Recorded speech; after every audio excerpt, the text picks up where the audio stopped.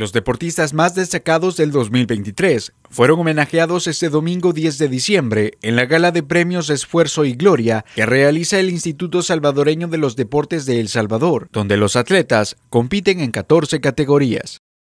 Hoy, en la segunda edición de los premios Esfuerzo y Gloria, es el último de los cuatro ejes principales que desde el Instituto Nacional de los Deportes buscamos para profesionalizar el deporte.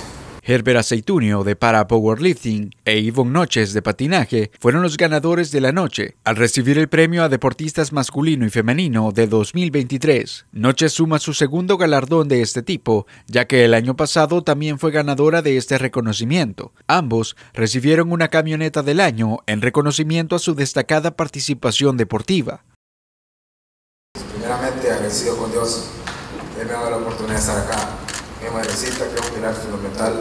A todos ustedes y pues gracias por creer en mí, la verdad que de una u otra manera yo creo que todos sumamos ese ánimo y lo importante es que no se representa a Herbert Aceituno, internacionalmente, se representa a todo El Salvador. No, me siento muy feliz por haber ganado este premio, es el máximo premio a nivel nacional, entonces me siento muy contenta por eso.